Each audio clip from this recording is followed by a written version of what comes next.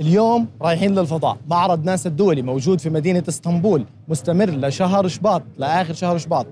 المعرض بيحتوي على العديد من الأدوات والأجهزة الفضائية اللي استخدمت في الفضاء والتاريخية منها. خليكم معنا لنروح على الفضاء.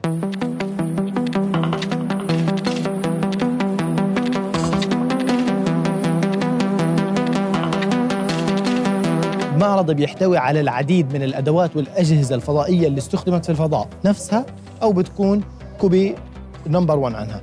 عندنا شخص كتير مهم اللي هو اسمه فان براون. هذا فان براون آه، من العلماء اللي طوروا الصواريخ للفضاء. طبعا اللي أنا واقف جنبه هو تلسكوب عمر عمله هو بعمر ال 12 سنة. ولما كبر هو انضم إلى هتلر وكان من من من الأوائل في صناعة الصواريخ اللي عملت نقلة نوعية في الحرب العالمية الثانية إذ استخدمها هتلر في ضرب فرنسا وبريطانيا. وعندنا موجوده قطع راح تشوفوها من الصاروخ الأصلي والدفتر الأصلي تبعه اللي كتب فيه الملاحظات تبعته. غزو الفضاء بين الولايات المتحدة وروسيا. بدأ مع انطلاق أول قمر صناعي روسي سبوتنيك إلى الفضاء. ومن بعدها توالت الأحداث ورا بعض. فأطلقت أمريكا قمرها الصناعي. بعدها أطلقت روسيا أول حيوان للفضاء. وهو كلب. طبعا هذا الكلب لم ينجو مات خلال الرحلة لكن بعدها نجح الأمريكان في إرسال قرد إلى الفضاء. لكن النقلة النوعية كانت لروسيا عندما أرسلوا أول كبسولة للفضاء فيها إنسان. هذه الكبسولة الموجودة عندنا هي طبق الأصل عن الكبسولة اللي أرسلت. تقدروا تشوفوا من جوا المكان كتير ضيق. أنا بصراحة لو رائد فضاء يعني حكون مرعوب جدا في هذا المكان. تخيل أنت تضلك عدد كبير من الساعات في هذا المكان. ضيق لونه غريب صغير أنت مش عارف وين أنت وين رايح.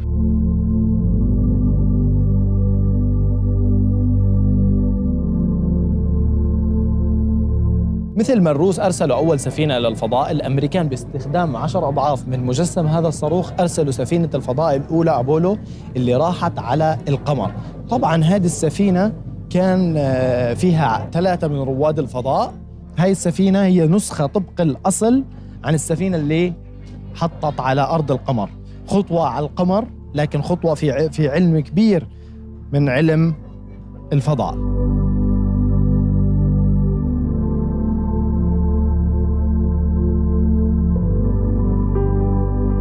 بعد محطة مركبة أبولو على سطح القمر. رائد الفضاء الأمريكي نيل أرمسترونغ بأول خطوة على سطح القمر. بهاي البدلة هاي البدلة يا جماعة الخير هي بدلته الحقيقية. فقط الكاميرا حطوها لتشكيل المج... المظهر بالكامل. فإحنا ممكن نلمسها. فأنا بعد ما هي لمستها هيك يعني مسكت شغلة راح على القمر فممكن أكون رحت على القمر يعني معلش. طبعا آه لما وصلوا على القمر فقط اثنين من رواد الفضاء نزلوا والثالث ضل في في المركبة. واستخدموا هاي السيارة للتجول ولجمع العينات. شكلها غريب يعني.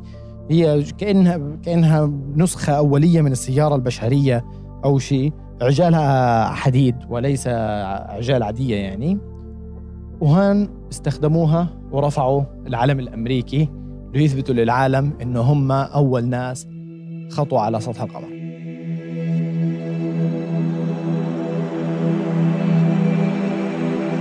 دائما كنت بتساءل في الفضاء كيف بياكلوا؟ بسبب الجاذبية في حيكون أكيد حيكون في صعوبة في الأكل. فهم هان مخترعين حل عظيم شوي.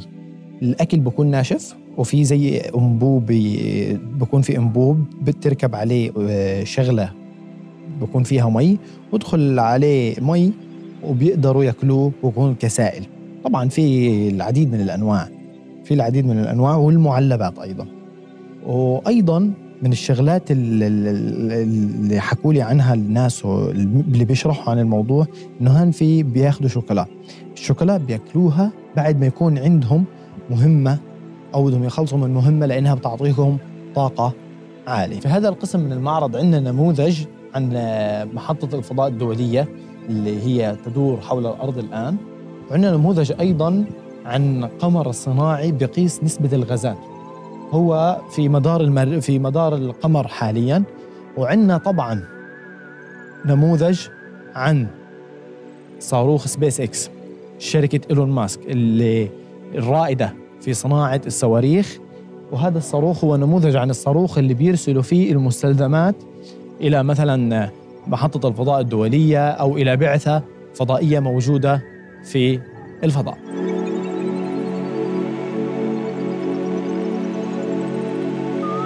Merhaba. Merhabalar, hoş geldiniz. Hoş bulduk. Bizi bir bilgi verir misiniz? Evet, öncelikle kendimi tanıtayım isterseniz. Ben Merve Timur Renk Şengül. Ee, bu sergiyi getiren Hupolupa şirketinin icra kurulu üyesiyim. Aslında bu sergi uzayın gizemine ışık tutan bir sergi diyebiliriz. Ee, hem bizim bildiği Amerikan Havacılık ve Uzay, Uzay Ajansı yani kısa adıyla NASA'nın e, ev sahipliğinde gerçekleşen bir sergi. Burada sergimiz iki temel bölümden oluşuyor. Birinci bölümü tarihsel sergi alanı dediğimiz kısım. Burada e, uzay aslında bir hayal olarak nasıl başladı ve sonrasında Ay'a ilk ayak basışımıza kadar uzay tarihindeki tüm kilometre taşları neler bunları gözlemleme şansına e, ve yakından görme şansına sahipsiniz. Yine tarihsel sergi alanında gerçek bir ay taşı var. Buna yakından görme ve dokunma fırsatı sunuyoruz ziyaretçilerimize. İkinci kısmımız ise VR ve simülasyonlardan oluşan kısım. Burada astronot ve kozmonotların görevlere gitmeden önce yaptıkları bazı simülatörleri misafirlerimiz kendileri birebir olarak deneyimleyebiliyorlar. Bunun yanı sıra VR alanlarımız var. Burada Uluslararası Uzay İstasyonu'ndan dünyaya bakmanın hazzını yaşatacak bazı VR deneyimleri sunuyoruz ziyaretçilerimize. Sergimiz 7'den 70'e her yaş grubuna hitap ediyor. Ee, Dolayısıyla uzaya ilgi duyan, uzay deneyimini yaşamak isteyen herkesi sergimize bekliyoruz. Peki bildiğim kadarıyla ilk, ilk sefer Türkiye'de yapılıyor. Kaç ülkede yapıldı daha önce?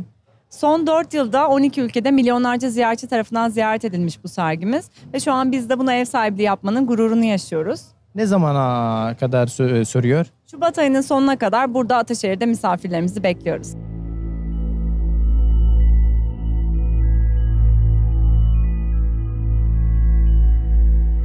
نحن الآن في قسم المحاكاة من معرض ناسا في هذا القسم في كثير من الأجهزة وحنجرب الآن جهاز المشي على المريخ merhaba. Merhaba, hoş geldiniz. Hoş bulduk. Teşekkür ederiz. Platformun üzerine çıkıyoruz. Karşıya dönecek şekilde bakıyoruz. Düz karşıya bakacak Düz, şekilde. شو شو شكل ده؟ استودعناكم يا جماعة طلع الموضوع كثير معقد يا جماعة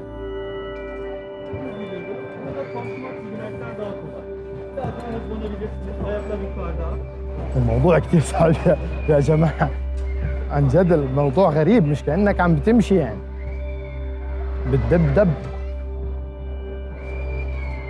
hızlanalım mı? طبعا يا جماعة هذا السيميوليشن آه بيعطيك الشعور كأنك عم تدور في الفضاء في مركبة فضائية. هو كثير بدوخ الموضوع فادعوا لنا ألا نستغرق أنا آسف بطلت.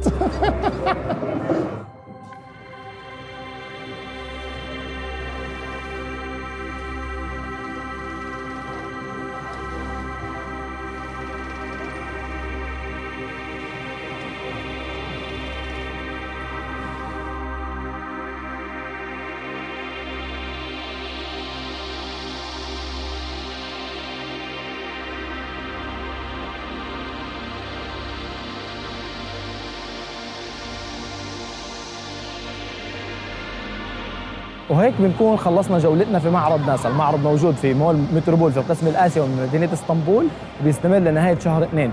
بنصحكم تزوروه مثل ما شفتوا المعرض مليء بالمفاجآت والشغلات الجميلة. أنا هاشم صالحة ما تنسوا تتابعونا تعملوا لنا like و share و subscribe لكل شيء جديد في إسطنبول.